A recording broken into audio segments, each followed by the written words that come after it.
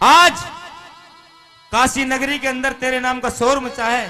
तू डयन बन गई है छोटे छोटे बच्चों को खाने लगी है। पिया जी किसने आपके दिमाग में ये बहम डाल दिया कि मैं डायन बन चुकी हूँ?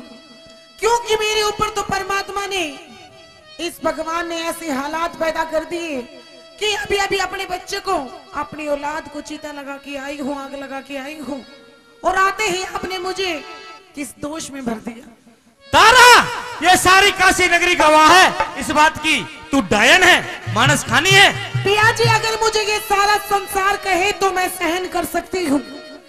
मैं दुख भोग सकती हूँ। पर अगर आपने मुझे ये बात कही है तो मेरे लिए जीने की कोई बात नहीं। इस धरती पर जीना मेरा बिल्कुल बेकार है। क्योंकि लोगों, इस धरती पर बताया जाता है कि इंसान दूसरों की नज़र में गिर जाए तो कोई बात नहीं। पर जब इंसान अपनी नज़रों में गिर जाता है तो वो इस धरती पर जीने के लायक नहीं। अगर आप मुझे ऐसे ऐसे तोहमत मेरे ऊपर लगा रहे हो तो पिया जी मेरा इस धरती पर जीने का कोई अधिकार नहीं। तारा प्रत्यक्ष को प्रमाण की ज़रूरत नहीं है।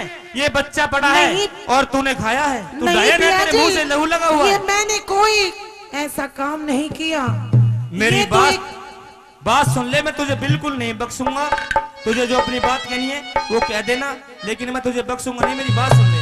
सुनाइए महाराज। हरी डायन जड़ से निपटा दूँ। नहीं नहीं पिया जी। अपने मुँह से अपने मुँह से पिया शब्द मेरे लिए मत कह। बात। नहीं पिया जी। मेरी बात सुन ले। अरे डायन जड़ से निपटा दूँ आज कहानी तेरी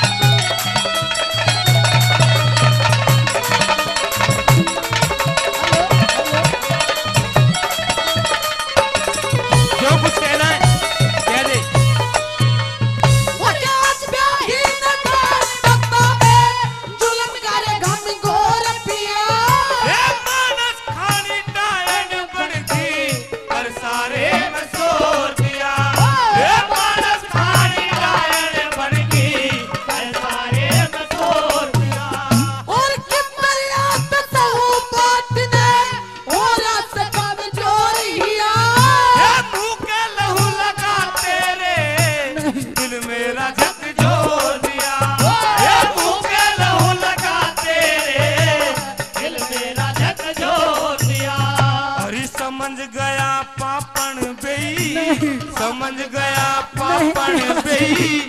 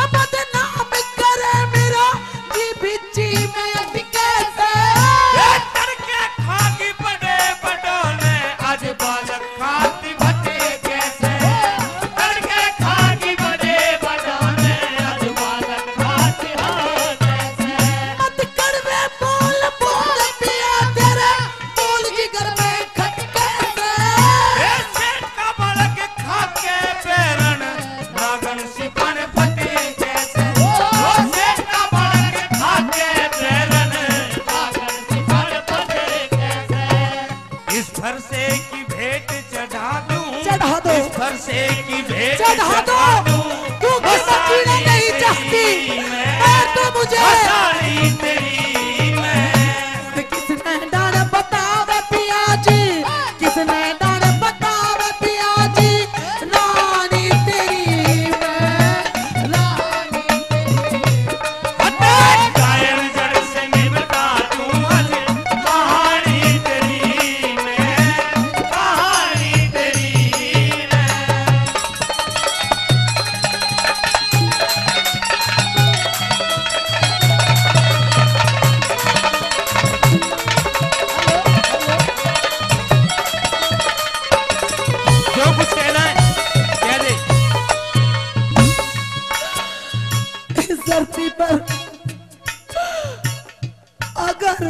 आप अपने धर्म से नहीं गिरते।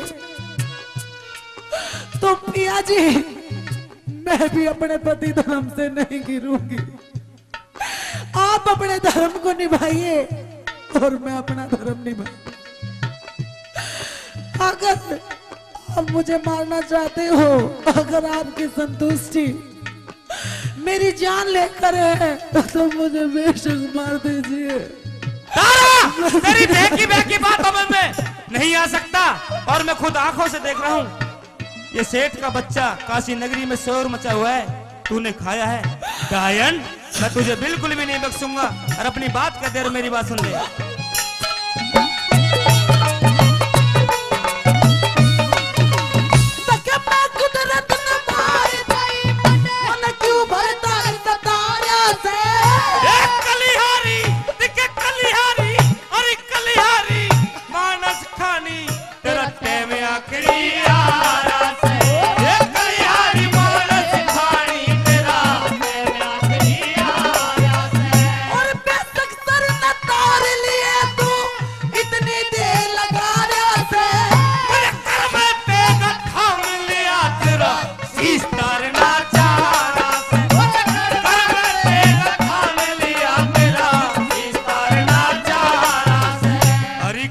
कर्म कर